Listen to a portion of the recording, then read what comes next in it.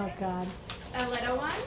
How about this one? It was just a big. Oh, it was the Barbie and the brush. Yeah, the brush. So you didn't figure out who got that? Got it. Oh, the process of elimination. Yeah. Who was it? This girl in Brooke's class.